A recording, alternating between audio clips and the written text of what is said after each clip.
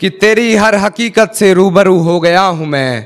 ये पर्दा किस बात का कर रही है? एक मैं हूँ, आँखों से आँसू नहीं रुक रहे। एक तू है कि हंस के बात कर रही है।